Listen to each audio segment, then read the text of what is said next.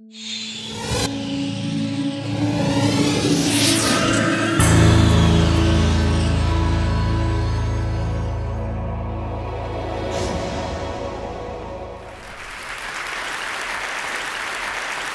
was only four years old when I saw my mother load a washing machine for the very first time in her life. That was a great day for my mother. My mother and father had been saving money for years to be able to buy that machine. And the first day it was going to be used, even grandma was invited to see the machine. and grandma was even more excited. Throughout her life, she had been heating water with firewood, and she had hand washed laundry for seven children. And now she was going to watch electricity do that work.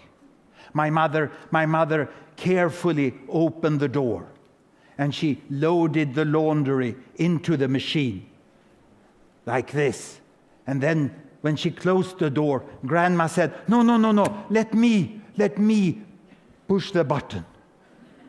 And grandma pushed the button and she said, Oh, fantastic. I want to see this. Give me a share. Give me a share. I want to see it. And she sat down in front of the machine and she watched the entire washing program. She was mesmerized. To my grandmother, the washing machine was a miracle. Today, in Sweden and other rich countries, people are using so many, so many different machines. Look, the homes are full of machines. I can't even name them all, you know.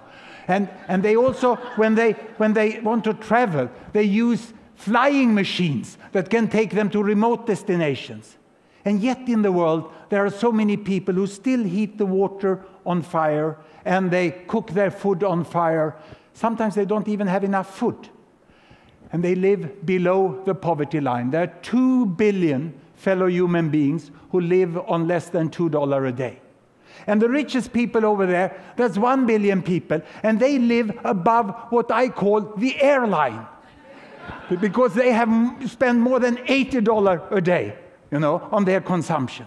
But this is just one, two, three billion people. And obviously there are seven billion people in the world. So there must be one, two, three, 4 billion people more who live in between the poverty line and the airline.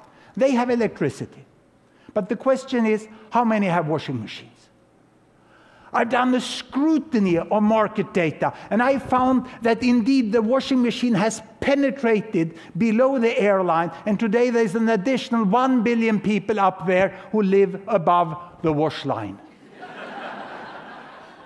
and they consume for more than $40 per day. So 2 billions have access to washing machine, and the remaining 5 billion, how do they wash?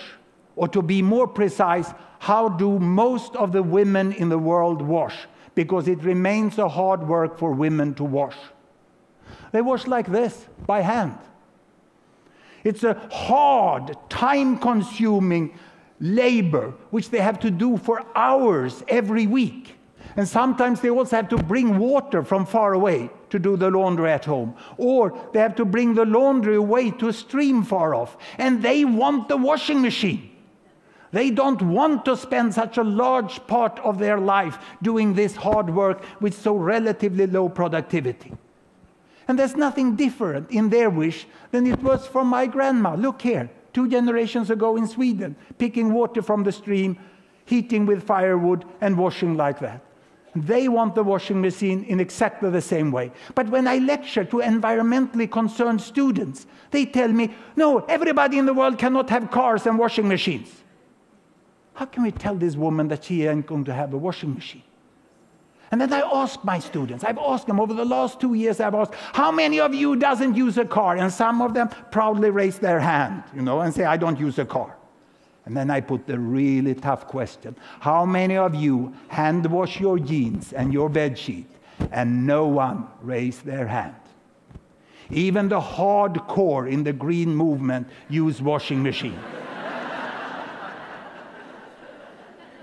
So how come something that everyone used and they think others will not stop it? What is special with this? I had to do an analysis about the energy use in the world. Here we are. Look here. You see the 7 billion people up there? the air people, the wash people, the bulb people, and the fire people.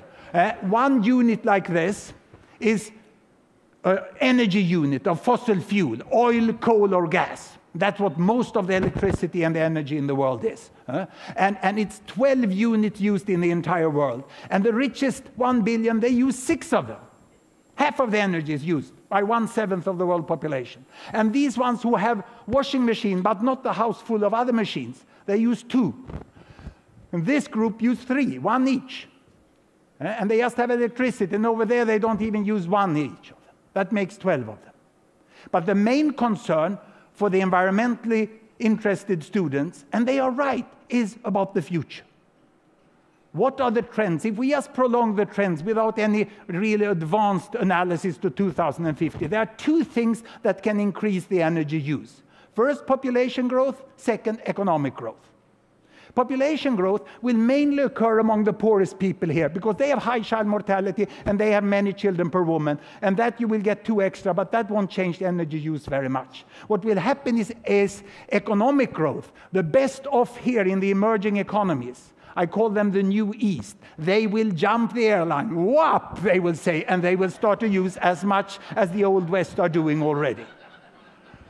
And these people, they want the washing machine. I told you, they'll go there and they will double the energy use. And we hope that the poor people will get into the electric light and they will get two child family. We'll have a stop in population growth, but the total energy consumption will increase to 22 units. And these 22 units, you know, still the richest people use most of them.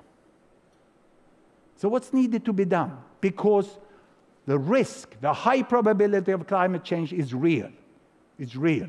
Of course, they must be more energy efficient. They must change behavior to some way. They must also start to produce green energy, much more green energy. But until they have the same energy consumption per person, they shouldn't give advice to others what to do and what to not to do. here we can get, here we can get more green energy all over. This is what we hope may happen. It's a real challenge in the future. Eh? But I can assure you that this woman in the favela in Rio, she wants a washing machine. She's very happy about her Minister of Energy that provided electricity to everyone. So happy that she even, even voted for her, you know. And she became Dilma Rousseff, the president-elect of a, one of the biggest democracies in the world, you know, moving from Minister of Energy to president. If you have democracy, people will vote for, vote for washing machines. They love them. Huh? And what's the magic with them? My mother explained the magic with this machine the very, very first day.